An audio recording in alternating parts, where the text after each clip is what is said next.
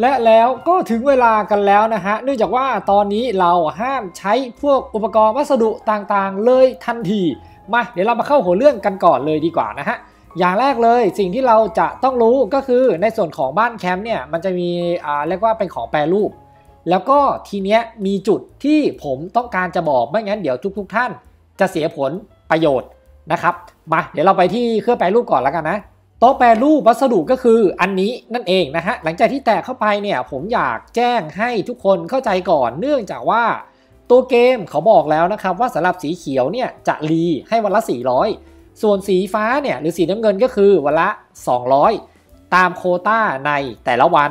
แล้วอันเนี้ยเรียกง่าย ๆ ว่าเป็นคลิปที่ผมอยากจะแจ้งเตือนกับทุกคน เพราะถ้าพลาดคุณพลาดยาวนะครับ เอาละอันดับต่อมาผมอยากให้ดูอะไรเพิ่มเติมนะครับก็คือในส่วนของตารางเวลาครับ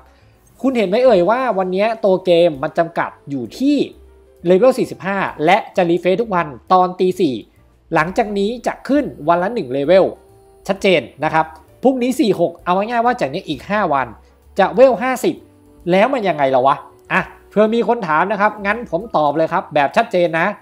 คุณหยุดหาวัสดุอุปกรณ์โดยทันทีตั้งแต่ตอนนี้และให้มันไอตรงเนี้ย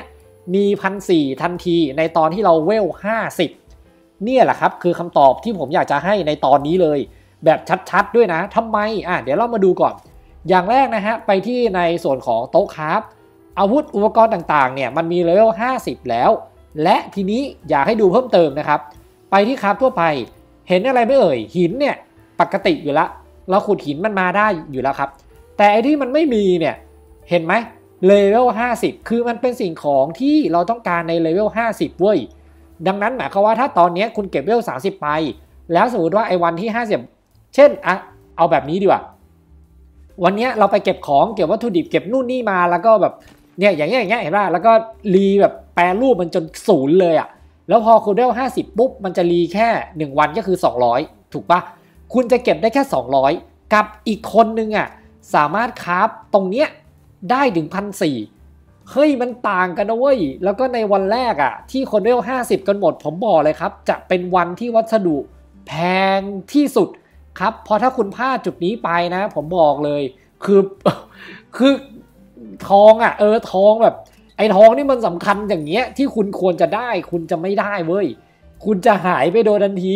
ดังนั้นอะทีเนี้ยคุณมาดูถึงวัสดุต่อเลเวลสองเนี่ยอยู่แค่สิบเอง เห็นป่ะยี่สิบสองเนี้ยยี่แปด ยี่อ่าอีกอันหนึ่งสักยี่สิบเจ็ดยี่แปดคือไม่เกินสามสิบถูกไหม แต่ว่าณตอนนี้ทุกคนมาเริ่มเก็บกันหมดได้แล้วไง ดังนั้นผมเลยอยากจะบอกว่าไอตอนที่เวลห้าสิบปุ๊บ มันเป็นระดับสามเนี่ย ผมบอกเลย ยังไงก็แพงกว่านี้ แพงกว่าเห็นเห็นอีกเหตุผลหนึ่งนะครับ เป็นดังนี้นะ อยากให้แจ้งทุกคนจะได้เห็นภาพก่อน อย่างแรกเลยนะครับ เออ ต้องมาที่หน้านี้ดีกว่า ทุกๆคนส่วนใหญ่นะตอนนี้จะใส่แต่ของสีฟ้าและสีม่วงครับ และเลเวล50 ขึ้นไป ไม่ใช่แค่ทุกคนนะ ผมด้วยเผลอๆผมอะ่ะจะใส่ทองด้วย งงอะคือทุกคนแม่งรอให้เวล50 เพราะจะใส่ของแบบจัดเต็ม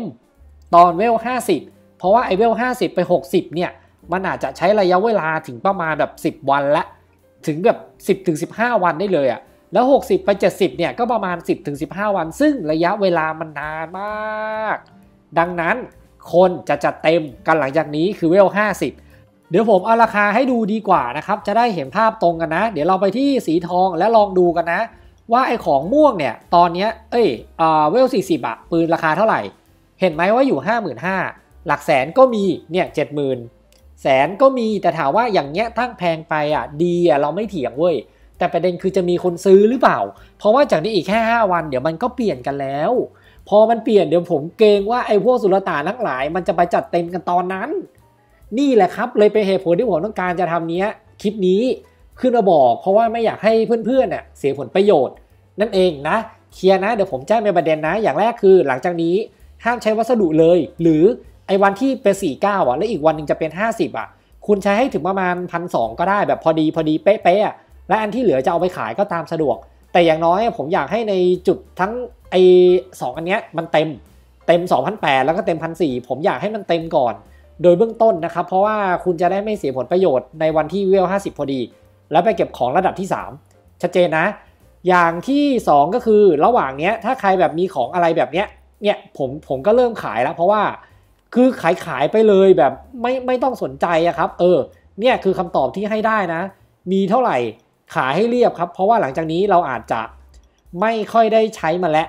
นะครับ ส่วนถ้าใครขาดหรืออะไรแนะนำว่าให้ซื้อนะแล้วแล้วอย่าไปใช้นะครับอะอันนี้เอาให้ชัดเจนนะจะได้เห็นภาพตรงกันเนาะอะโอเค ขอตั้งแป๊บ หลังจากนี้นะครับสิ่งที่เราทำได้ก็คือมาในส่วนของเหมืองเลยครับ เนี่ยเหมืองเลยเป็นสิ่งที่สำคัญนะ และเราก็สามารถไปได้ด้วย ชัดเจนนะครับ โดยเบื้องต้นเนี่ยผมไปเปิดอันเนี้ยเป็นบางอันไปแล้วนะครับ ส่วนระหว่างนี้สิ่งที่คุณทำได้คืออะไรก็คือไปที่เหมืองเลยครับ และที่ผมแนะนำเลยนะ เปิดแบบรอไปเลย พอเวล 50 ปั๊บเนี่ย คุณจะได้ผลประโยชน์กว่าคนอื่นโหยมีเพียบเลยมีเพียบเลย เดี๋ยวเดี๋ยวเดี๋ยวค่อยว่ากันเนี่ยอย่างเงี้ยครับเห็นป่ะพอเรามาร์กเสร็จแล้วเนี่ยเราก็ไปเปิดตรงเนี้ยรอไปเลย เนี่ยแหละคือคำแนะนำครับอะขับมอไซค์ครับแล้วก็ไปเลย คือตอนนี้สิ่งที่ทำได้อะเปิดแมปทุกอย่างให้เรียบร้อยซะ และถ้าเป็นไปได้อย่างเงี้ย พอผมว่ามาก็เนี่ยมันเป็นแหล่งเก็บแล้วเห็นป่ะมีหญ้ามีอะไรเพียบเลย เนี่ยพอเรารู้แหล่งอะเราก็จะสามารถเก็บได้ก่อนเพื่อนเว้ยแล้วพอถึงอาเวลห้าสิบปั๊บชนชนอะขับสายจังว่ากูเนี่ยเดี๋ยวเดี๋ยวเดี๋ยวขับอะไรวะเนี่ย เดี๋ยวเดี๋ยวอันนี้ถือว่าผมบอกแล้วก็เป็นคร่าวๆตัวอย่างให้ดูเลยแล้วกันนะ เดี๋ยวเปิดให้ดูนะครับแป๊บหนึ่งขอไปถึงก่อน โอเค ตอนนี้เราก็มาถึงแล้วนะครับ นี่เป็นการเปิดเลยปลดล็อกแบบด่วน แม้ว่าเลเวลเราอะจะยังไม่ถึงแต่เราก็สามารถปลดล็อกได้นะติดิ้งเนี่ยเห็นไหมเห็นไหมหมู่บ้านโกลัสเปลี่ยนเรียบร้อยครับและไอหมู่บ้านนี้เป็น quest หลักที่เราจะต้องมาทำเห็นไหมไปที่ด่านโกลัสเนี่ยเนี่ยเนี่ยเนี่ยด่านเนี้ยที่เราจะต้องมานะครับ และส่วนอันดับต่อมาทำไงต่อ ก็หลังเปิดเสร็จก็ไปอย่างเงี้ยนะเปิดเปิดเปิดเปิดเปิดเนี่ยเห็นปะมีเพียบเลยครับ เปิดให้เรียบนะครับ อย่าให้เหลือฮะอันนี้คือสิ่งที่เราทำได้เรียกง่ายๆว่า มาเปิด map ไว้รอเลยนั่นเองนะครับจะได้ไม่ผิดพลาดเนาะพอถึงเวลาเวล 50 ปั๊บก็เก็บของโดนทันที ส่วนไอเทเลซาสีทองเนี่ย เดี๋ยวคุณทำ quest ไปเรื่อยๆ ตัวเกมจะให้คุณ warp ไปได้อยู่แล้ว ดังนั้นไม่ต้องซีเรียสนะครับเนี่ยอะพอเปิดตรงนี้เสร็จปั๊บก็ mark ต่อเลยปึ้งอะ mark เสร็จนะครับ สิ่งที่ต้องทำในอันดับต่อไป โอ้ยมอไซค์จะระเบิดอยู่แล้วคือเดี๋ยวเดี๋ยวผมก็ทำคลิปทำรถด้วยนะ แต่ว่าเดี๋ยวค่อยว่ากันขอไปเก็บเศษไม้เพิ่มก่อน ไม้มีไม่พอครับผมอะอันนี้ถือว่าผมบอกเป็นแบบคร่าวๆแล้วกันนะ กับสิ่งที่คุณจะต้องทำเดี๋ยวทำให้ดูอีกสักอันหนึ่งแล้วกันนะเอ่อแปดร้อยเหรอเนี่ยครับแล้วก็ระหว่างที่ขับไปอะพยายามดูแมปด้วยแล้วกันนะครับ ถ้าเราเห็นว่าเอ้ยอย่างเงี้ยอย่างเงี้ยเห็นว่าจุดเนี้ยมีทั้งแร่มีทั้ง ใบหญ้าอะไรเพียบเลยเนี่ยอะแล้วอย่างเมื่อกี้มีกล่องก็เก็บได้นะ เดี๋ยวเดี๋ยวผมผมเห็นละ เดี๋ยวค่อยมาเก็บอีกทีหนึ่งนะครับ อันนี้เอาไปด่านขวาเหรอโอ้มึงขวากันอย่างนี้เลยเหรอขวาอย่างนี้เลี้ยวไม่ทันเว้ยปึ๊บเอาเอาเอาเอาเอาโห